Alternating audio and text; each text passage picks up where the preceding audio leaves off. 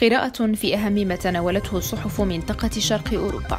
في بولونيا نقرأ على يومية بوليتيسي أن طريقة التصويت الجديدة في الانتخابات الرئاسية القادمة أخذة في التحقق.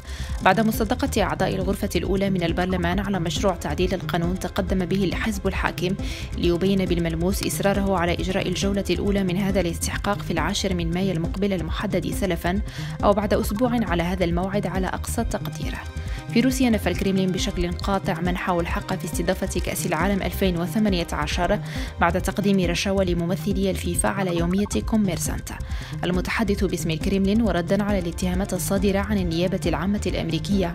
أكد بحسب اليومية أن روسيا حصلت قانونيا على حق استضافة كأس العالم ولا علاقة لها بأي شكل من أشكال الرشوة. في تركيا نطلع على يومية شفق تأكيد مسؤولين في إدارة الهجرة التابعة لوزارة الداخلية. خلو مراكز إيواء اللاجئين ومراكز إعادة طالبي اللجوء من أي إصابة بفيروس كورونا.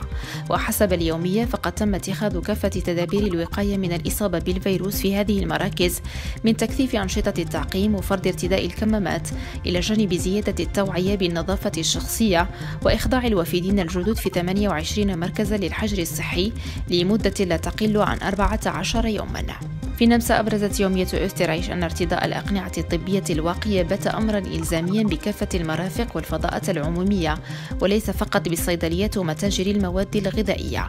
اليومية أوضحت أن القرار دخل حيز التنفيذ الاثنين الماضي وبدأ تطبيقه بعشرة ألاف من مراكز تسوق بالبلاد قبل أن يصبح سري المفعول بوسائل النقل العمومية وكافة الفضاءات العامة بالولايات الفيدرالية.